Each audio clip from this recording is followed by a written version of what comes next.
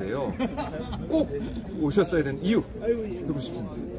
아, 이화영 부지사 지금 사건 관련해서 저도 예전부터 잘 지켜봐 왔었었고요. 지금 검찰의 조작이 일어나고 있는 것을 그 이전부터 어느 정도는 아, 네, 저도 뭐 들은 것도 있고 또 저도 또 제가 변호하던 정진상 실장님 역시 이- 이건 관련해서 조사를 받은 적도 있고요.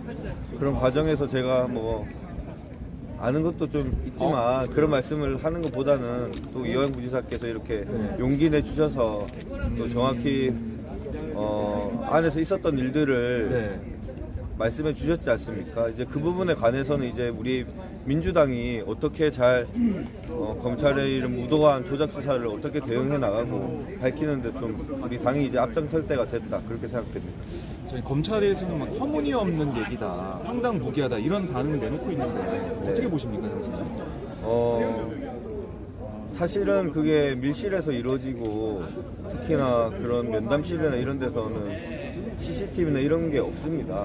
그 안에서 뭐 어떤 일이 일어났는지는 사실은 안에 있었던 당사자들만 입만 함구가 하면 그거를 객관적으로 밝혀내기는 상당히 어렵습니다. 근데 그, 그 모임에 참석했던 이화영 부지사께서 그렇게 진술을 했기 때문에 네. 저는 뭐 디테일하게 그게 뭐 장소가 어디고 어떤 게 그것보다는 일단은 지- 진술 조작이나 회유를 시도했다는 것 자체는 분명히 있었을 거라고 저도 생각이 들고요. 네. 이왕 부지- 부지사께서 특히나 했던 말이 자기가 이제 이재명 대표한테 보고했다는 시점에 또 이재명 대표가 분명히 그때 경기도청에 없었고 여의도에 아마 행사가 있어서 갔었을 겁니다. 그 날짜를 이화영 부지사가 알고서 이제 어쩔 수 없이 검찰에 협조했다는 말을 보면 그게 이화영 부지사 말이 어느 정도 신빙성이 있지 않나 그렇게 생각이 듭니다. 신빙성이 있을 것이다. 그럼 이거를 좀 객관적으로 확인할 수 있는 방법, 이런 걸 좀 어떻게 보세요? 정말 객관적으로 확인하기 위해서는 CCTV나 이런 부분이 밝혀져야 될 텐데요. 지금 그 부분은 일단 객관적으로 확인은 불가능한 상태고, 다만 유아영 부지사께서 아까도 말씀드렸다시피 이재명 대표한테 그 대북 송금 사실을 보고했다라고 진술한 그 날짜가 오히려 이, 이화영 부지사가 그 날짜에 이, 이재명 대표가 현장에 없었음을 알고서 어쩔 수 없이 그 날짜를 택했다라는 진술이 네. 그런 진술이 신빙성이 저는 상당히 높다라고 판단됩니다.